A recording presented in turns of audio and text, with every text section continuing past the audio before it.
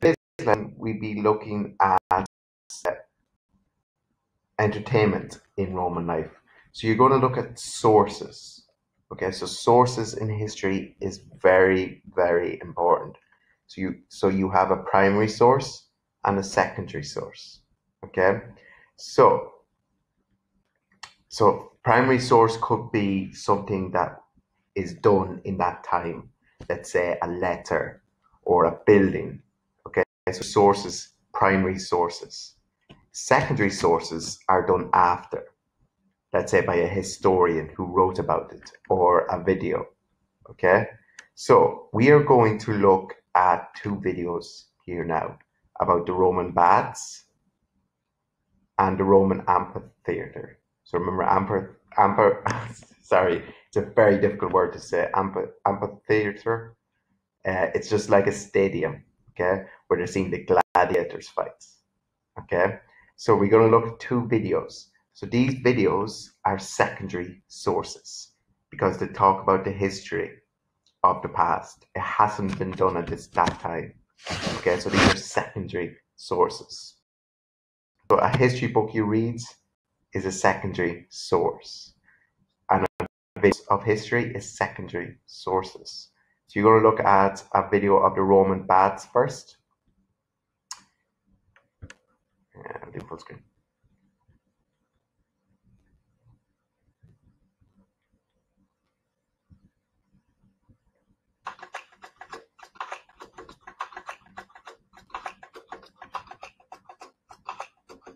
The water in Rome was expensive for individuals, so people took advantage of public baths for both socializing and at the Roman baths, people could relax, socialize, and catch up on the latest news.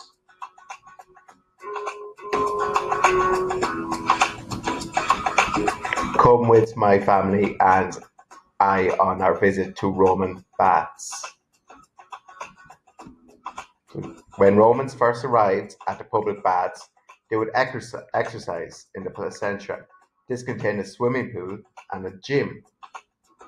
After a long workout, I can head over to the spa, where slaves give visitors an oil, olive oil massage. The first bath we visit is the Frigidarium. This is the coldest bath. So look, this is the coldest. Bath. Wow, this cool bath flexes the muscles after an intense run. I think it's high time to visit the warm bath, what the natives call the tepidarium. So frigidorium is cold, tepidorium is warm. After a long day at the Colosseum, the warm water feels great. So this is an example of a Roman bath, so bathhouses. So Romans used to come here and socialize, so talk with their friends, okay, work out in the gym. So frigidorium was a cold bath, tepidorium was a warm bath.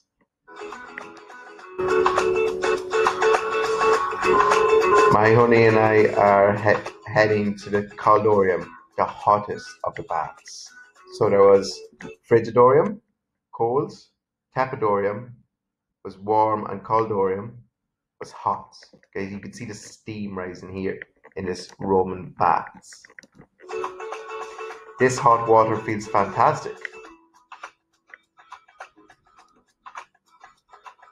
I wish I knew about the impressive engineering feats that created these magnificent Roman baths.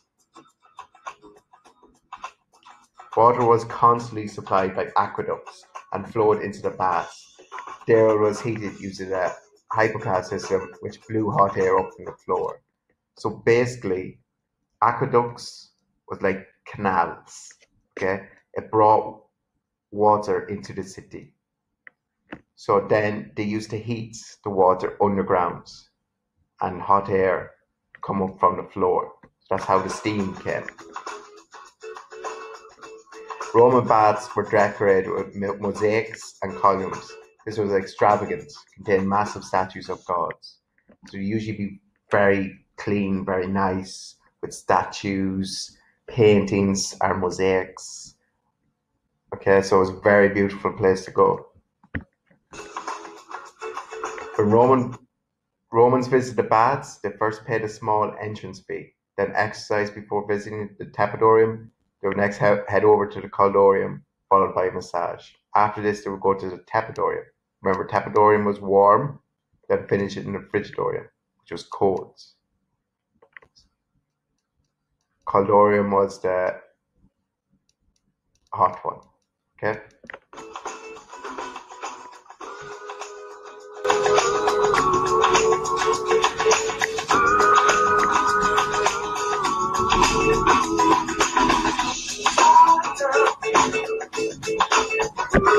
Okay, that's that finished. So that was a secondary source. Okay, guys, a secondary source because the secondary source is with is what a historian has written about. Hasn't been done at that time.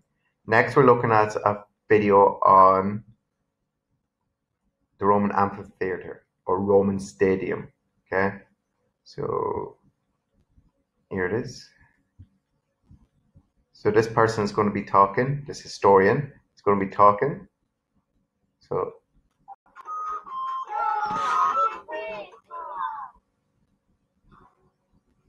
city of Rome stands an ancient stadium, the largest amphitheater ever built. Once the home of battling gladiators, staged sea battles, and reenactments of ancient myths, today it is a tourist attraction and an icon of ancient Rome. Although partially ruined, it has endured for nearly 2,000 years. Originally called the Flavian Amphitheater, it is now known around the world as the Colosseum. Construction began on the Colosseum in 72 AD under the direction of the Emperor Vespasian. Built by thousands of slaves and made of stone, bricks, and concrete, once complete, it could seat 50,000 people. It was 620 feet or 189 meters long, 512 feet or 156 meters wide, and 158 feet or 50 meters tall. That's as tall as a 12 story building. Although it would take only eight years to build, Vespasian died before it was finished, and the Colosseum was opened by his son, the Emperor Titus. The first games held in the newly completed Colosseum lasted for a hundred days. Admission to these games was free and helped keep the emperor popular with the people of Rome. Thousands of animals fought and were killed as crowds cheered, everything from elephants and tigers to bears and bulls. Criminals were also executed there. Sometimes they were used in reenactments of ancient myths and stories where the character would be attacked by animals, like Prometheus, or flung to their death, like Icarus. The most famous attractions of the Colosseum, however, were gladiators. Professional fighters, they battled each other in a combat to the death for the entertainment of the people. Successful gladiators could become celebrities, drawing huge crowds and earning riches that would allow them to retire in comfort, assuming they lived that long. Sometimes, however, a more impressive spectacle than gladiatorial combat was held in the Colosseum.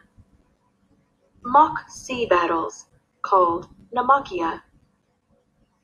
The Colosseum had been built on the site of an artificial lake, and underneath it ran channels that could divert water from a nearby aqueduct to flood the arena floor until the water was deep enough that real ships could sail on it.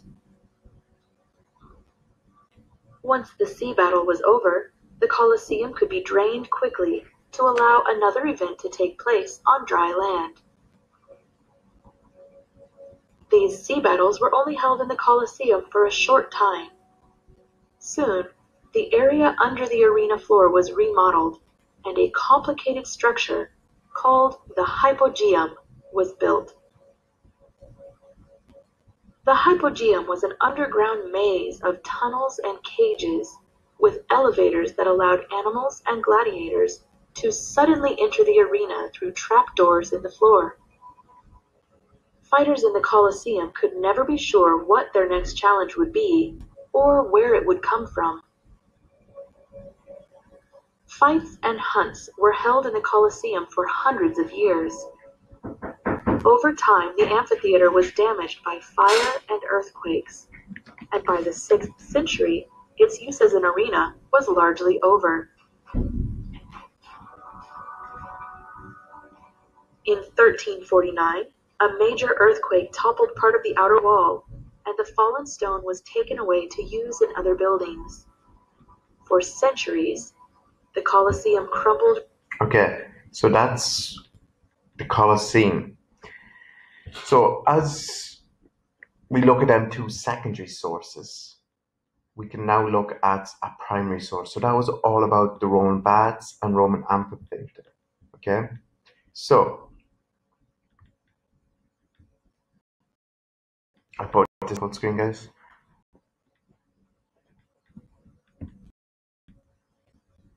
So this, guys, like I mentioned, that video was a secondary source. This here is a primary source, okay, done at that time, okay. So you can see some information. It gives us information from that time. So this is a primary source. So what information can get from this source? Look at closely, okay. First one, it was important for the Romans as they had made claim clay tablets about the events. So this was very difficult to do. So you can see it chariots and horses. So this was chariot racing. So they did this out of clay tablets. So this was obviously very important for the Romans because this took a very long time to complete. That the Romans enjoyed watching chariot racing and the Romans enjoyed watching people die in the form of sport. So we get a lot of information from this tablet. Okay, so this was a primary source. There's also primary sources. So th this one was written by a Greek writer describing the baths in Rome in AD 50. So on the left are the lounging rooms, next rooms to undress in, on each side with a large hall between them in which are three swimming pools of cold water. It is finished in Laconian marble and has two statues of white marble in ancient style, one of Hygeia, the other of Asclepius. On leaving this hall, you come into another room, which is slightly warmed. So remember Frigidorium, and Tepidorium, and Caldorium. Then near this is another hall, the most beautiful in the world in which one can stand or sit with comfort. Next comes the hot corridor, faced with Numidian marble. The hall beyond it is very fine, full of abundant lights and a, a, a glow with colour like that of purple hangings. It contains three hot tubs. Should I go on and tell you about the exercising floor? It is beautiful, with two devices for telling time a water clock that makes a bellowing sound, and a sundial. So, guys, this was written two nearly 2,000 years ago, so AD 50. Okay? So this was nearly written 2,000 year, years ago. So, this would be a primary source. Okay? Very important to know the difference between a primary source and a secondary source in history. Okay? So, this was written at that time. Okay? So, you can see the author is telling us about the bath, baths in Rome. Okay, he's saying it's very beautiful with marble, and he's explaining the two, the three different rooms: the colds, the warm, and the hot rooms. So, I want you guys now to evaluate the source and its relevance. Is it a good source to use? So which do you think it's better to use? A secondary source or a primary source? Okay, so what can you learn about Roman life about the source. So from that source, the writing, what can you tell about Roman life? Okay. So this source, what can you tell about Roman life? Okay, guys. I uh, this lesson's finished. Hope you have a good day. Bye.